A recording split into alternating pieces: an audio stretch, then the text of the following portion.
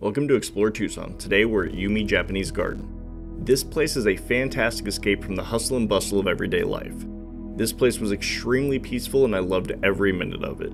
Rather than try to describe the place myself, I'll tell you how they describe themselves.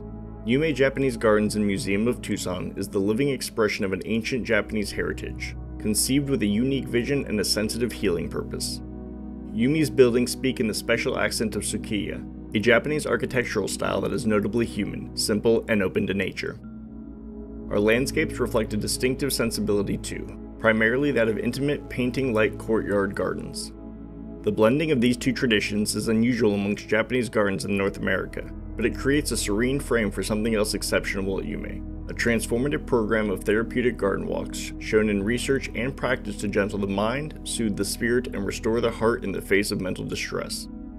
While you may step into Yume thinking only to enjoy its peacefulness and living beauty, you will also find in its interpretation of nature an invitation to cross a subtle threshold and reshape your inner landscape to achieve a renewed sense of emotional resilience and contentment.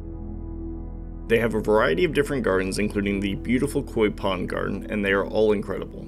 If you've never been, I highly recommend checking it out. It's a tranquil place to visit. So, where should we explore next?